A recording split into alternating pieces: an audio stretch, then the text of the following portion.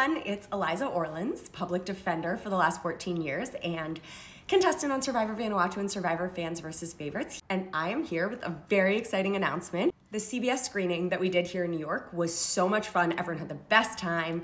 And so CBS has decided they are going to do another one in Los Angeles. Sadly, I won't be able to be there, but I have 10 tickets to give away for December 12th. That is Tuesday, December 12th. For this one, make sure you're following me on TikTok, Twitter, Instagram, um, YouTube, and leave in the comments your favorite robbed goddess of Survivor. You will get extra credit for videos and clips and tagging me in things that show me fun reasons why you love anyone who you consider a robbed goddess on Survivor.